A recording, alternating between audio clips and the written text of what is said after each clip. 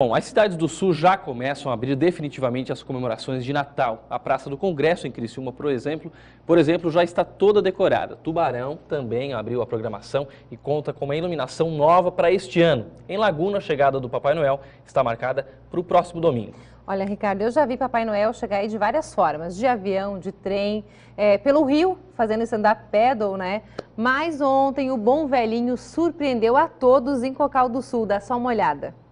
A praça da Igreja Matriz de Cocal do Sul ficou lotada. Crianças e adultos já entrando na magia do Natal. As apresentações começaram cedo, ainda com sol. Teve até coral dividido nas sacadas de um prédio, cantando e encantando a comunidade. Olha a lua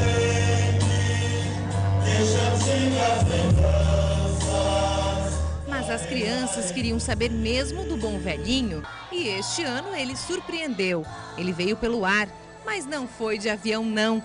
O Papai Noel aventureiro atravessou o céu da cidade de parapente. Papai Noel que vem chegando em grande estilo. Logo depois, ele já apareceu na torre da igreja.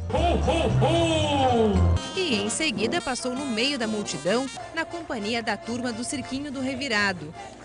O público acompanhou ainda a entrega da chave da cidade, show pirotécnico e o acendimento das luzes na praça. O bom velhinho atendeu também as crianças, distribuindo alegria. E as atrações na praça seguiram até a meia-noite.